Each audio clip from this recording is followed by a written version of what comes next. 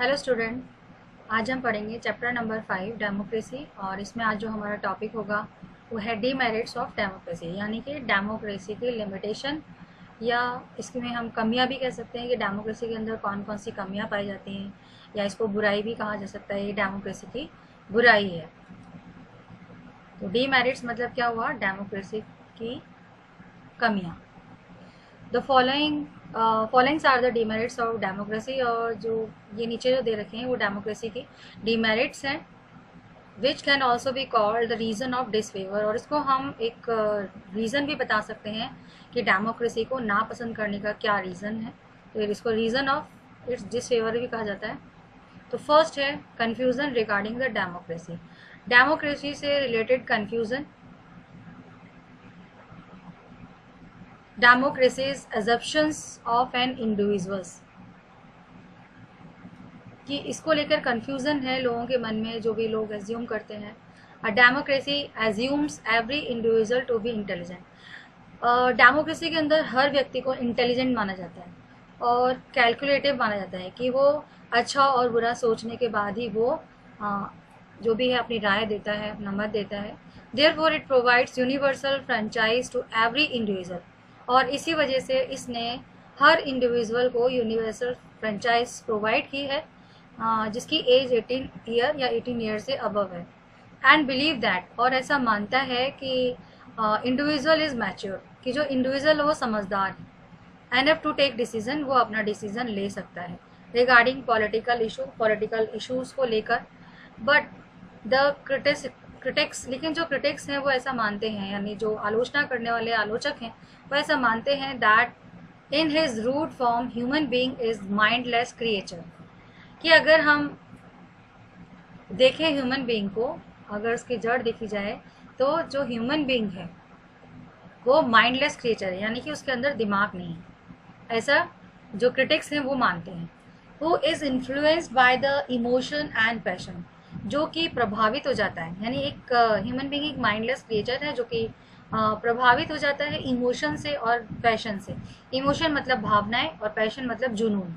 मतलब अगर उसके इमोशंस और पैशंस आ जाते हैं तो जब ये दोनों चीज़ें आ जाती हैं तो इंसान की सोच, सोचने समझने की शक्ति कम हो जाती है।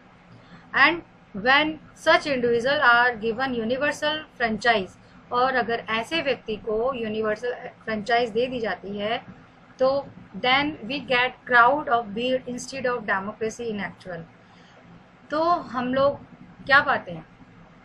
एक भीड़ पाते हैं लोगों की, बजाय डेमोक्रेसी एक्चुअल रूप के अंदर। लोकतंत्र नहीं होता, लोगों का तंत्र नहीं होता, ये तो भीड़ का तंत्र हो गया। यानी लोगों की भीड़ हो गई।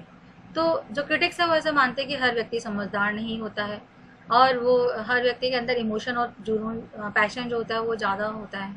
तो ज़रूरी नहीं है कि हर व्यक्ति जो है वो समझदार हो।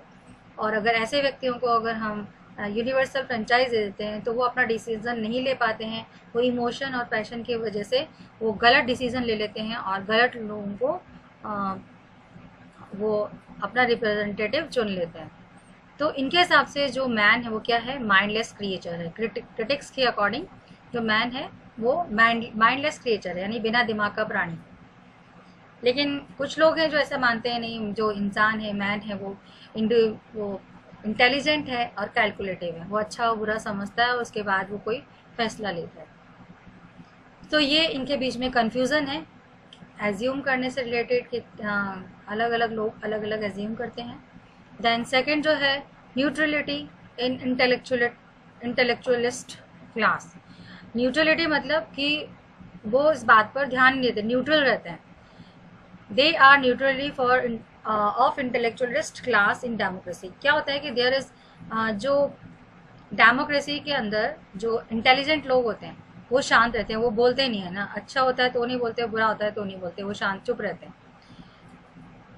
It is it is it this system there is importance of quantity beside quality और इस ये एक ऐसा सिस्टम है जिसके अंदर क्वांटिटी है क्वालिटी नहीं है। So so, in this system और इस सिस्टम के अंदर जो इंटेलेक्चुअलिस्ट हैं class do not take part properly in society तो जो समझदार जो लोग हैं इंटेलिजेंट जो लोग हैं, वो समाज के अंदर सही प्रकार से पार्टिसिपेट नहीं करते हैं। तो ये हो गया neutrality of intellectualist class second वाला हो गया। एंड देन उसके बाद आता है आपका confusion in the claim of importance of education अब इसमें डेमोक्रेसी में दावा किया जाता है कि लोग, लोगों को एजुकेट किया जाता है, इसमें लोगों को पॉलिटिक्स से रिलेटेड उनको एजुकेशन मिलती है। लेकिन इसमें भी कन्फ्यूज़न है। दावा किया गया कन्फ्यूज़न का। और this claim regards democracy that provide education of social science की ये समाज का, सामाजिक विज्ञान के बारे में एजुकेशन प्रोवाइड करती है। या एथिक और पैट्रोटिज्म या देशभक्ति की भावना जगाती है लोगों के अंदर, देशभक्ति की शिक्षा देती है। To each of its individual is absolutely confusing कि वो हर व्यक्ति को देशभक्ति की भावना या देशभक्ति की शिक्षा देना या सामाजिक विज्ञान उसके बारे में लोगों को शिक्षा देना, इससे रिलेटेड ये जो दावा किया जाता है, इसमें भी कन्फ्यूज़न बहुत ज़्यादा माना जाता है। द एक्चुअल सीन और जो एक्चुअल सीन है is just the opposite of this तो ये तो दावा किया जाता है कि लोगों को इसमें हम एजुकेशन प्रोवाइड करते हैं। जो यार डेमोक्रेसी जो है वो एजुकेशन प्रोवाइड करती है लोगों को। बट एक्चुअल सीन में अगर हम देखें तो ये जस्ट अपोजिट है। In a democracy every political party present its opinion और डेमोक्रेसी के अंदर हर जो पॉलिटिकल पार्टी होती है, वो अपना ओपिनियन प्रेजेंट करती है ऑन एवरी इंपॉर्टेंट इशू हर इंपॉर्टेंट इशू पर। और जो भी वो अपना ओपिनियन प्रेजेंट करती है, वो सेल्फ इंटरेस्ट से रिलेटेड होता है। सेल्फिश हम बोल सकते हैं कि आ, अपने स्वार्थ से उनके स्वार्थ से निहित होता है वो।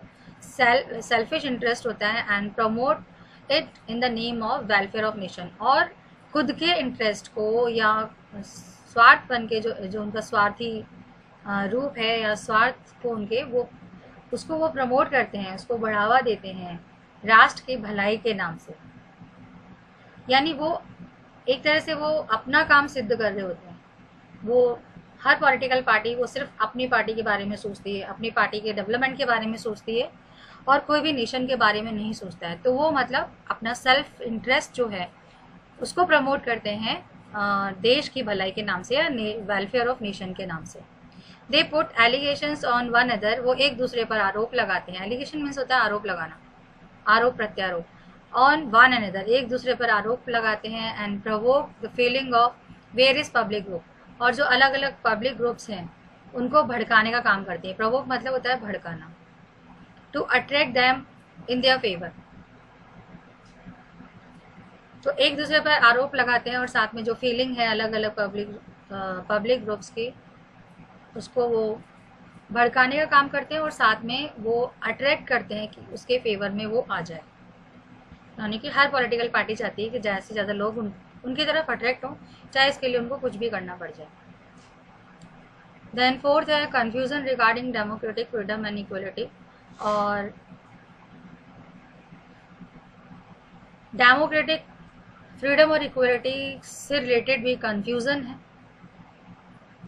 और democracy provide a citizen political and freedom and equality ऐसा माना जाता है कि जो जो डेमोक्रेसी है, लोकतंत्र है, वो नागरिकों को राजनीतिक आज़ादी और समानता देती है।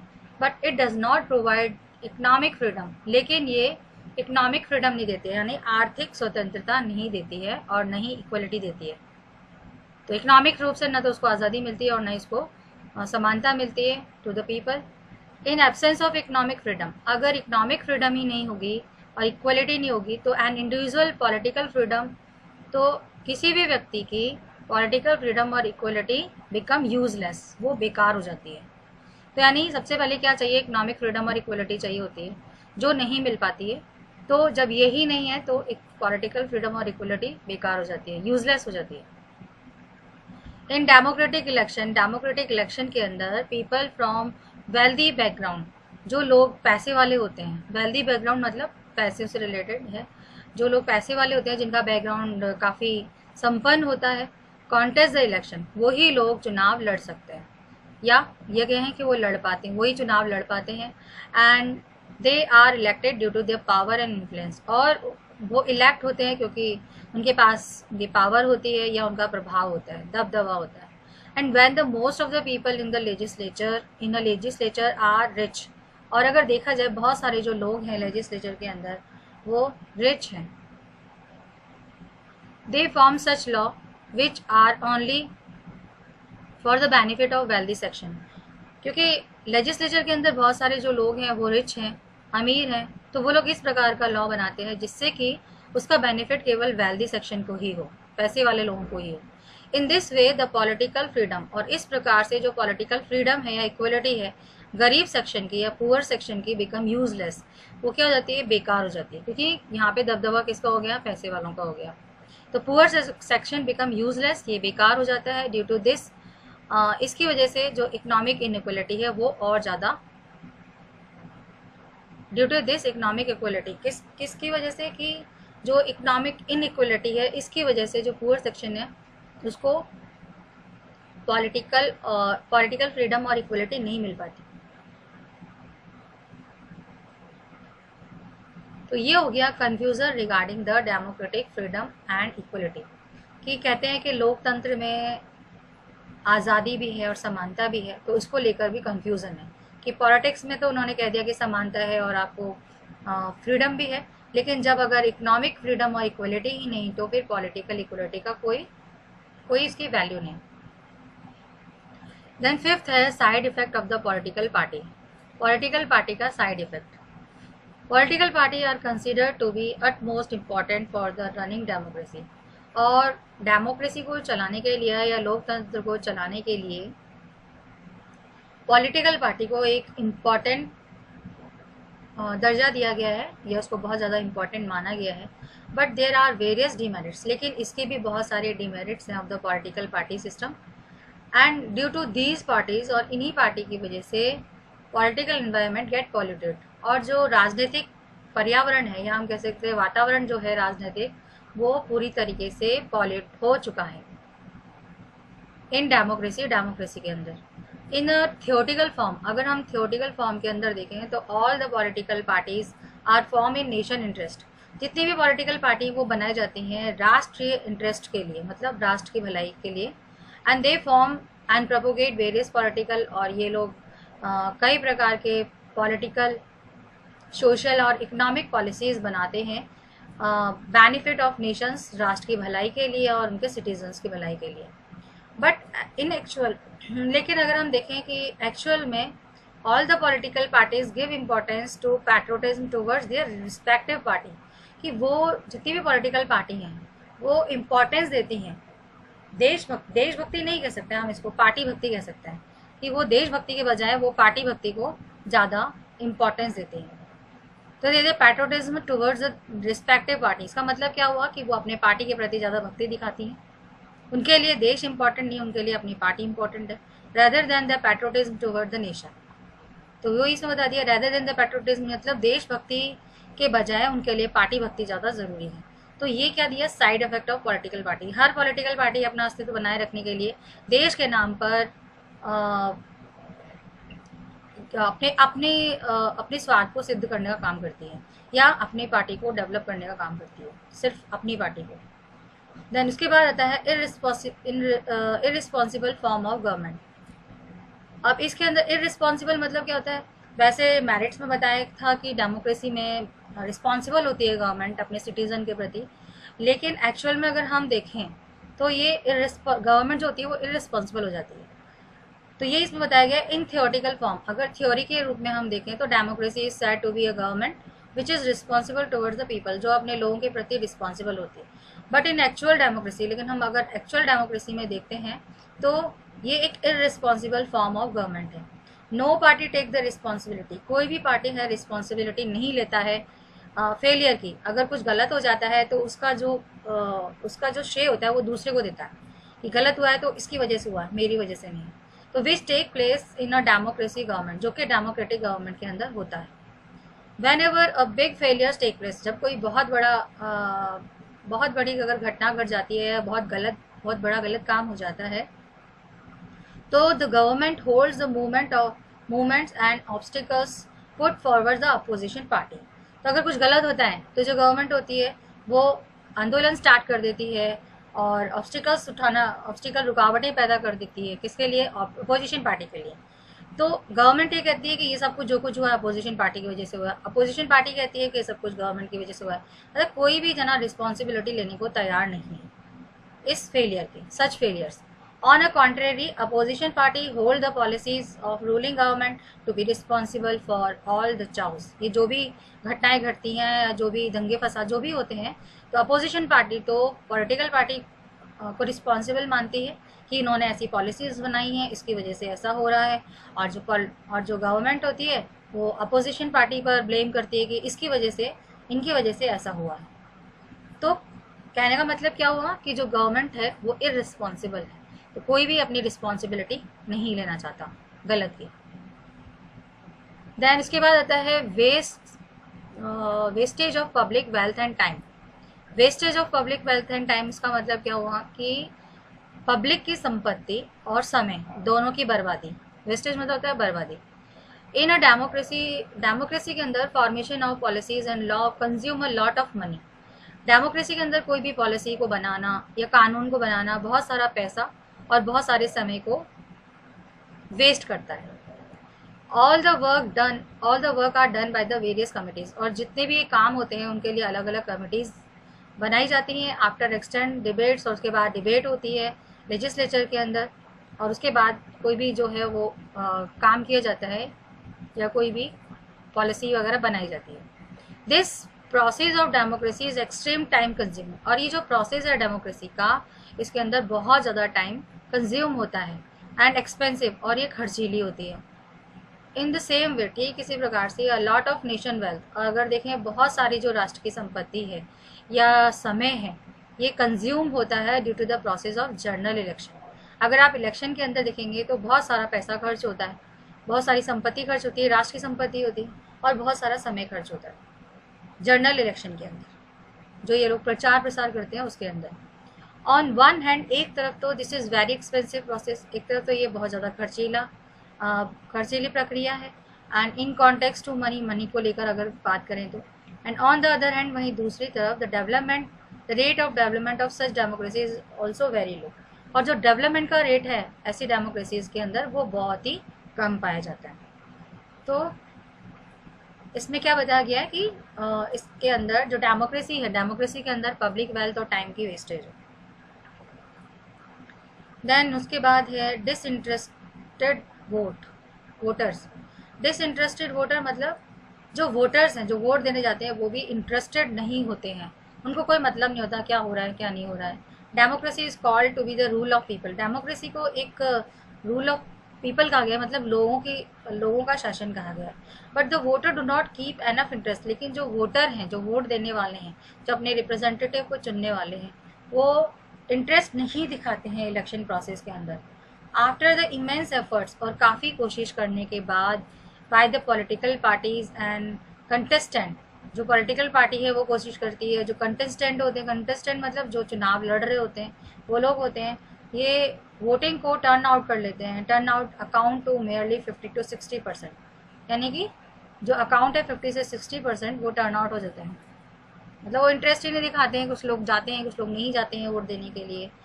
तो it become clear from this और ये क्लियर होता है this that due to demerits present क्योंकि जो डीमेरिट्स है वो प्रेजेंट है डेमोक्रेसी के अंदर। तो its citizen themselves do not consider this governance system तो जो उसके सिटीजन होते हैं इसके जो नागरिक होते हैं, वो इस गवर्नेंस सिस्टम पर कंसिडर नहीं करते हैं। मतलब उनको कोई भी गवर्नमेंट अच्छी नहीं लगती है। Consider governance system to be their own अपने आप से वो कंसिडर नहीं करते हैं। किसी ने बता दिया, ठीक है, वोट डाल दिया। अपार्ट फ्रॉम दिस इसके अलावा when all the voters do not cause या वोट कि जितने भी वोटर्स होते हैं, वो अपने वोट वोट को, अपने मत को नहीं देते हैं। दैन यूजली लेस क्वालिफाइड तो उससे क्या होता है कि जो कम क्वालिफाइड या अपोर्सनिस्ट टाइप का जो पब्लिक रिप्रेजेंटेटिव है, वो इलेक्शन जीत जाता है।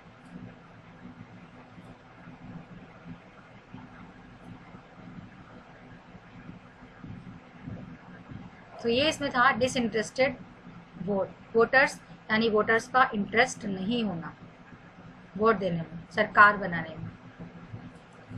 देन फिर है a weak system of government in time of emergency और जब इमरजेंसी का समय होता है तो गवर्नमेंट कमज़ोर पड़ जाती है उसका सिस्टम कमज़ोर हो जाता है। In a case of war अगर वॉर के केस को अगर हम ले and other such time of crisis और कोई भी अगर कोई क्राइसिस आती है the democratic government proves to be weak ये कमज़ोर नज़र आती है because there is decentralization of power net क्योंकि इसके अंदर जो पावर है, उसको डिस्ट्रीब्यूट कर दिया गया है अलग अलग ऑर्गेन्स के अंदर। इन दिस सिस्टम इस सिस्टम के अंदर it is not possible to take quick and secret decision और जब पावर डिसेंट्रलाइज होती है तो ऐसे सिस्टम के अंदर ये पॉसिबल नहीं होता कि तुरंत से और बिना किसी को बताए कोई डिसीज़न ले लिया जाए।